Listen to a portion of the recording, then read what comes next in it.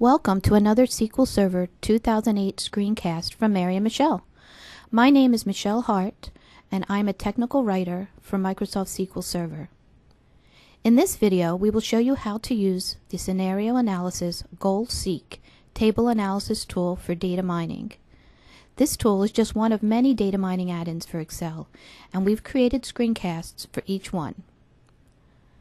The scenario analysis tool uses the logistic regression algorithm and allows you to model two types of scenarios and report the effect on either a single row or the entire table of input data. In this video, we'll look at the goal seek scenario, and in a separate video, we'll take a look at what if. Goal seeking helps you answer the question, what needs to change so that I can achieve my goal of such and such? For example, how can I grow my company from 10 million to $50 million? Or, how can I increase sales by 20%?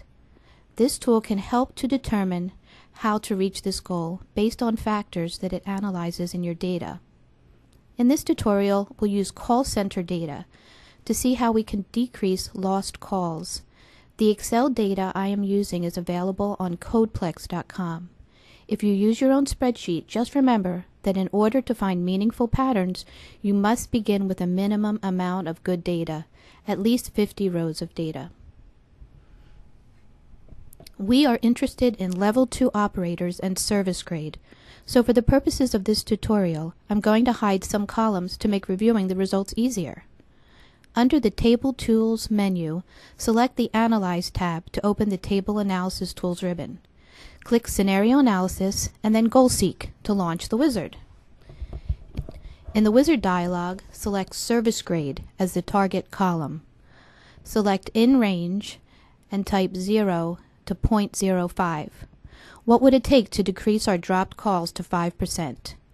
If the target column contains continuous numeric values, you can also specify a desired increase or decrease in the value.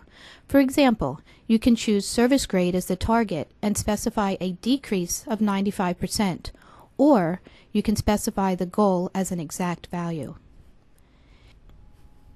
In the What to Change box, select the column that will be manipulated to produce the desired result. I am going to select Level 2 operators. If I click Run Now, the analysis will be performed on all of the columns. Instead, I open Choose Columns to be used for analysis and deselect Fact Call Center ID, Column 1, and Total Operators. By streamlining my analysis, I improve performance and accuracy. But be careful. Don't deselect columns that you will use for either the target goal or the change. Now, there is a problem with the wizard that you need to watch out for. If I make any changes in the Choose columns to be used for analysis window, I often see changes made to my goal to seek selections. Just double check before you click Run. I will make predictions on entire table and click Run. My results are added as new columns to the right of the original data table. These columns show the likelihood that the targeted outcome can be achieved, and the recommended changes, if any. The green circles on a row show that if you change the number of level 2 operators, the service grade goal of 0 to 5% can be met. The red circles on a row indicate that the target cannot be met, even if the number of operators is increased or decreased. Now let's perform a goal seek on a single row of data. With a single row, the tool reports in the results pane of the dialog box. If a successful solution is found, the tool displays the required change. For example, the Goal Seek tool might tell you that increasing the number of level 2 operators from 2 to 4 would reduce service grade to 5% or better. I'll quickly go through the same steps as we did for an entire table except that I will make my predictions for on this row and then click Run.